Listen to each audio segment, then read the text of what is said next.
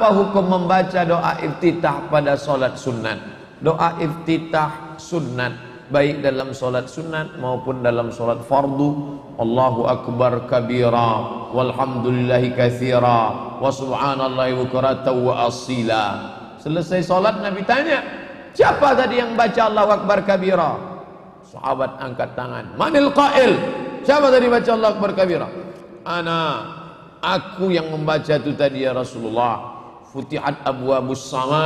Terbuka pintu-pintu langit karena Allahu akbar kabira yang kau baca. Hadis riwayat Abdullah ibnu Umar. Itu hadis tentang Allah akbar kabira diriwayatkan Abdullah ibnu Umar. Apa kata Abdullah ibnu Umar?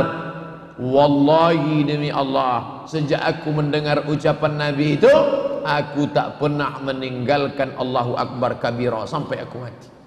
Jadi kalau ada orang mengatakan jangan pakai Allah akbar kabira itu tak pernah dibuat Nabi. Jahil Allah Akbar kabira. Baca. Wajah tu wajhiyya. Silakan. Allahumma ba'id baini wa baina khatayaya. Membuka buku 99 tanya jawab. Sudah saya buatkan iftitah 1 iftitah 2 iftitah 3 iftitah 4